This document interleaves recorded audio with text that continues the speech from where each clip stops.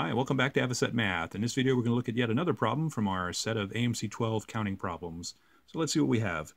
How many of the numbers 100 through 999 have three different digits in increasing order or decreasing order? So essentially, the total number of three-digit integers that have digits in either increasing or decreasing order. So this is uh, a little bit similar to the AMC 12 underscore 4 problem that we'd seen just a little bit before. So let's see how we might do this. Um, I'm not aware of any way to do this problem in one shot, so it looks like we're going to have to do this in cases. We're going to have to treat the increasing order as a separate case from the decreasing order, and then just add up the, uh, the two cases at the end. So let's look at the decreasing order first. So it appears in order to form a three-digit integer with uh, decreasing order, we can select three possible digits out of the set 9 through 0. And any such combination of three distinct digits from the set 9 through 0 can be rearranged in decreasing order and form a valid three-digit integer. So essentially this comes down to a combinatorics problem just like it did in problem AMC 12 underscore 4.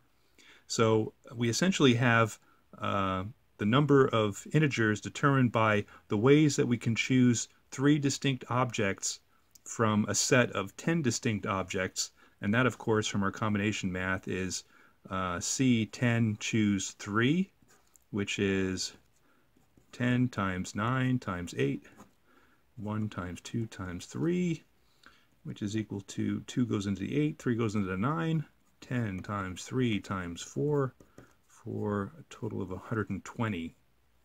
Now let's look at the case of increasing order.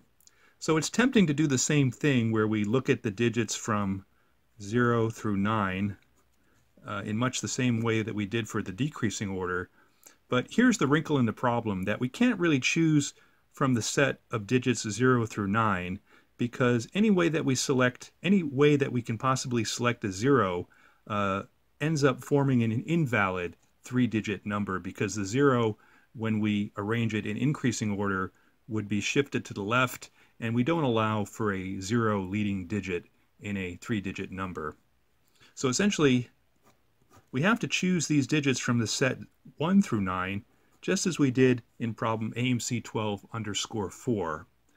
And after we do that, the problem is pretty much the same as the first case, where we now have to choose three digits from a set of nine using our combinatorial math, and that works out pretty simply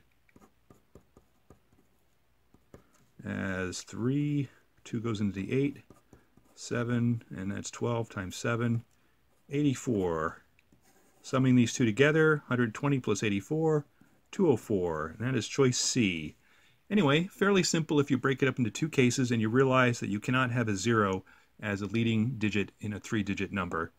And if you need a little more explanation as to why we do it that way, check out problem AMC 12 underscore 4. See you next time. Bye-bye.